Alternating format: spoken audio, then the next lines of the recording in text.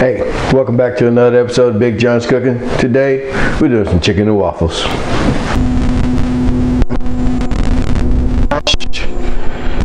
Now, debone them really. Find that bone.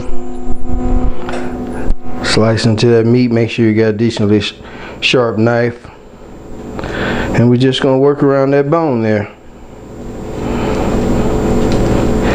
And it, it depends on you how clean you want to get and how close you want to get to that bone.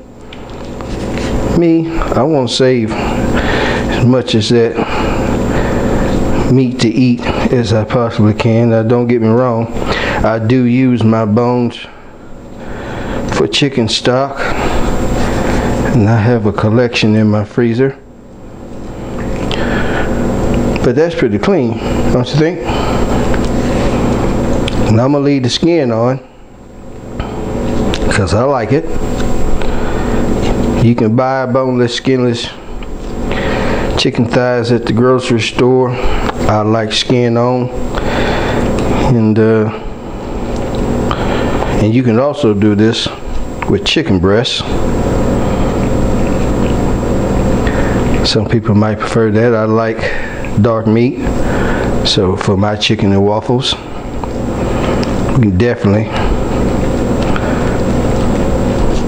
gonna do it uh, with the chicken thighs.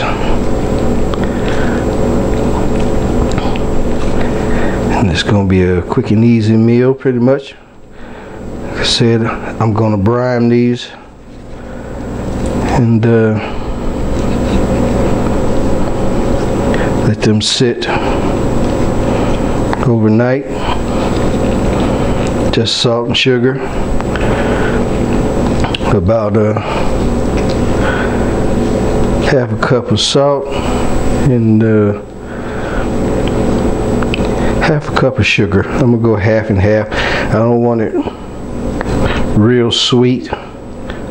Sometimes I do a cup of sugar and you can you can taste the sweetness in the meat. It's not bad, but today I want my chicken to be savory. So with that said, and my chicken deboned,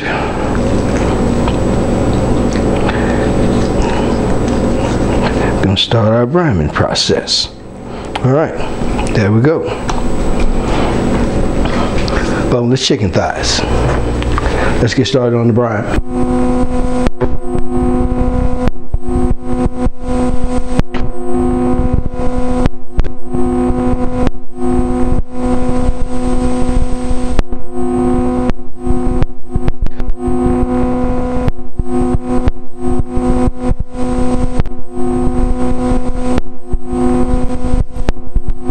Keeping half a cup sugar.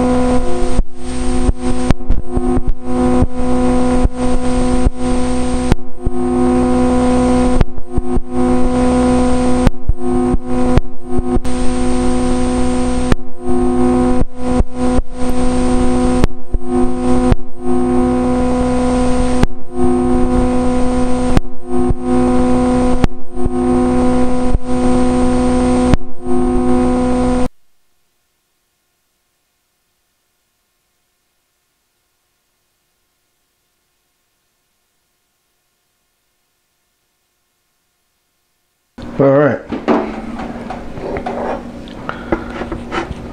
Drop a chicken in. I got this chicken on medium low.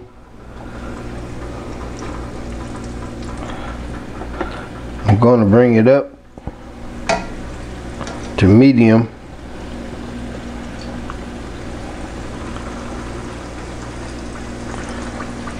But I don't want to rush it. Although I do want to get some good color on it. So for right now, we're leaving it at medium low and let this go for a couple of minutes. May let it go just as it is. It seems to be cooking pretty good, so let's see how it turns out.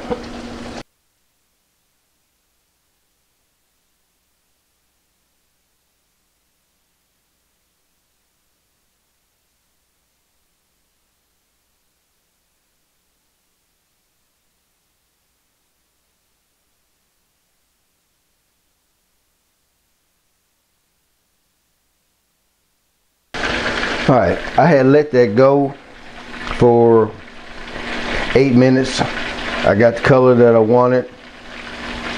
So I flipped it over. We're letting this go for another eight minutes or so. And we'll check it for doneness. And we'll get on our waffles. All right. And drain these pieces. Looking good.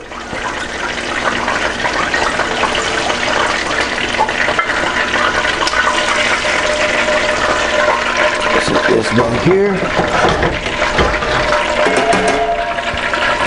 And add in our last batch.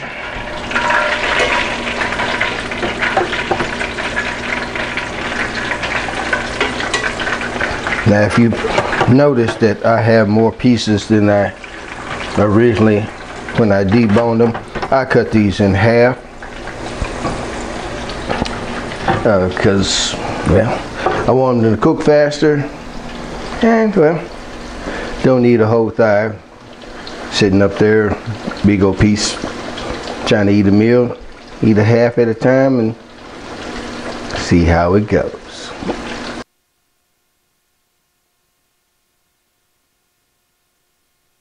Let's give this a taste. Mmm. Crispy skin. The brine is definitely coming through. Flavor is phenomenal. And I know these waffles